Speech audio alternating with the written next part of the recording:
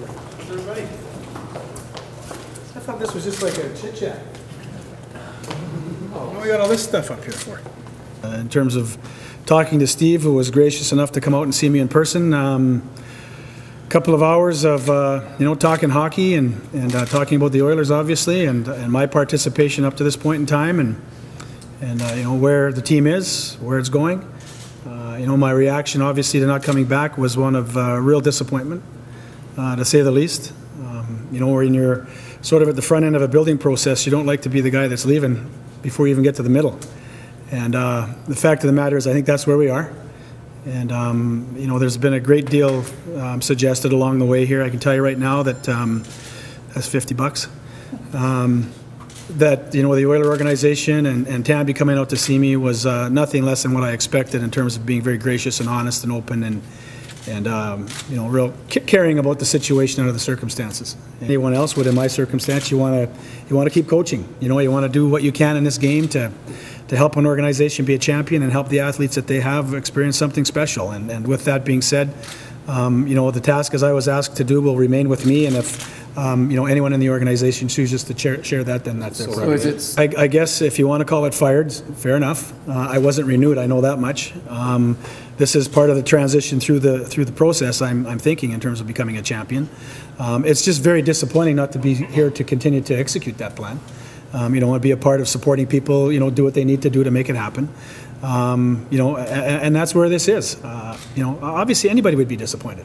Um, But I'm not here to throw daggers. I'm here to, to, to, uh, to support this organization uh, all the way to its Stanley Cup, you know, and if that's from a distance and having been a former coach, uh, you know, I, I'm good with that too. Uh, As, as they say, clear conscience is a soft pillow. I think this team, um, as I mentioned to Steve, I think, I think the ball's on the tee now. And, um, you know, with, uh, with the exception of some adjustments here and there, maybe an acquisition here or there, I think someone's ready to, to knock it out of the park. I mean, we were one or two injuries away every night from maybe not being competitive enough.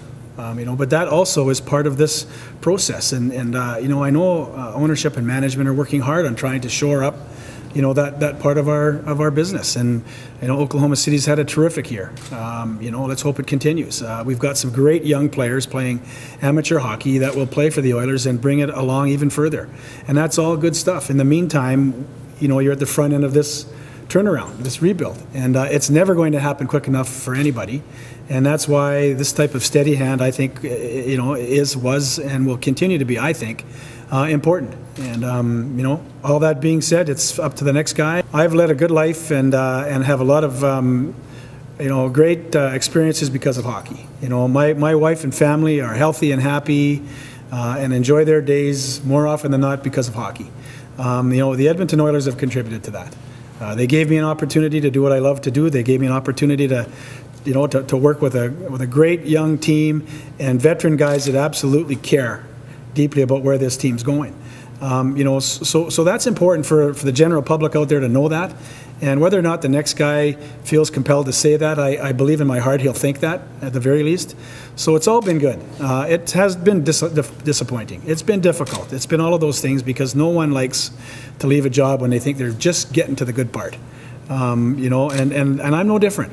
But I also know what I've got because of the game of hockey, and I know what I've got because of the Oilers. I think there's huge intellectual capital in this organization that will help move it forward to the championship people are looking for. And that starts at the top with its ownership and through management. And I think the people skills of the next coaching staff will be exactly what they need. I think the players will continue to work hard.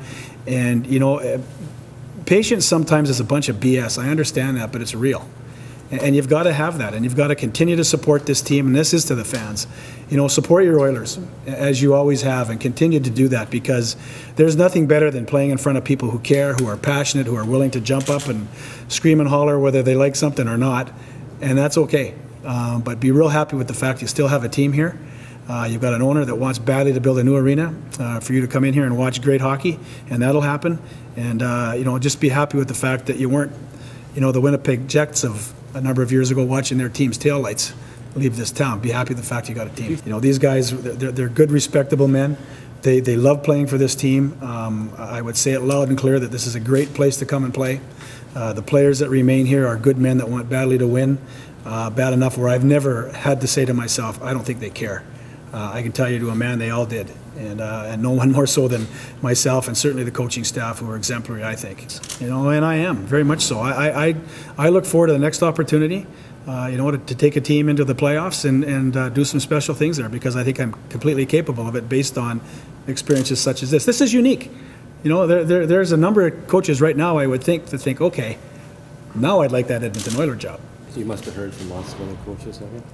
I have. I've had uh, hundreds of phone calls and, email, and emails. I, it's just been overwhelming, and I appreciate that. Uh, you know, it's nice that people reach out.